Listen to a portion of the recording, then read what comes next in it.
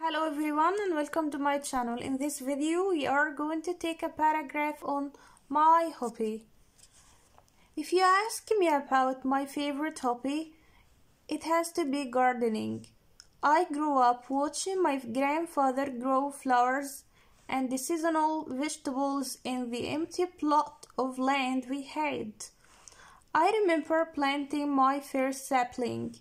Well, the funny thing about planting April lilies in July is that they don't bloom.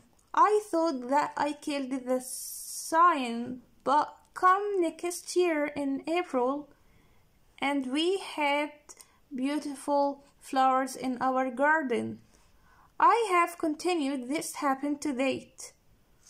When you grow a plant, you feel responsible for it I want to see it flourish. Keeping a plant alive and seeing it, up, it bloom gives you a sense of accomplishment. Gardening requires focus, and when you set your mind on a goal, you're, you stress less about other things. Gardening has proven to help reduce anxiety as you feel that you have control over the situation. Many hospitals have used the flowering, arranging, and planting as re rehabilitation methods for people recovering from various illnesses.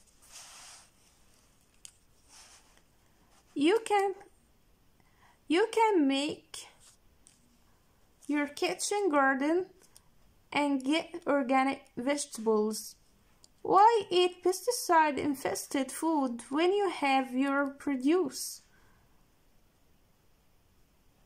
If the product is from your backyard, you tend to eat more vegetables and fruits. Keeping your teeth in a check, keeping your health in a check.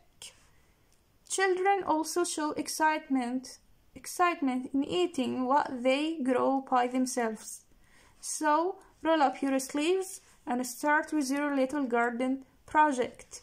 You might find happiness in the flowers or the fruits that you grow. Okay, so the paragraph is about my hobby.